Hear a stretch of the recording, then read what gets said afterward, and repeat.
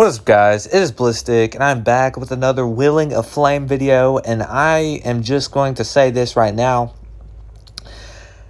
Is this a glitch? Okay, is this a glitch in Willing of Flame? So this guy, he had a, an elite 5-star Ninja Soulstone and he claimed it and it gave him pain. It gave him literally SS rank pain.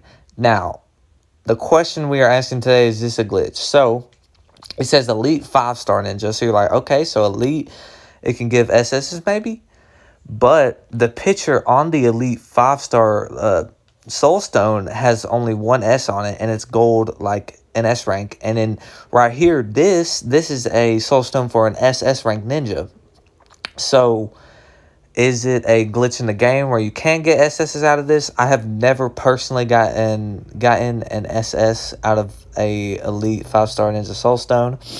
If you have, please comment because if it's just really like bad luck or whatever, just just comment if you have uh, gotten an SS out of this. I'm just wondering if this is a uh, glitch inside of Willing of Flame. But uh, but yeah, guys, I've seen this and I thought it was kind of strange, so I just share it. So I will see you guys in the next video. Peace.